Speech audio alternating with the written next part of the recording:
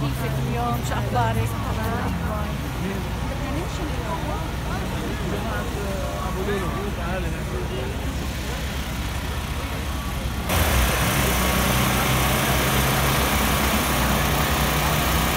has to be heard from everybody around the world, not only here in Canada.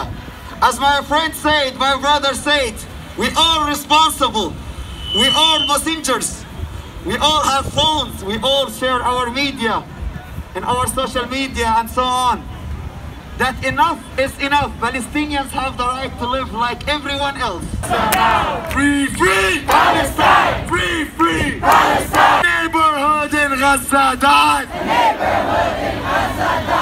Free, free Palestine! Free, free Palestine! Free, free Boop.